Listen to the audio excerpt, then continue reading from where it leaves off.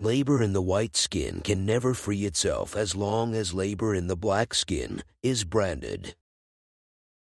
The increase in value of the world of things is directly proportional to the decrease in value of the human world.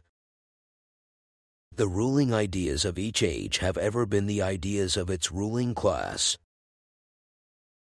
The production of too many useful things results in too many useless people.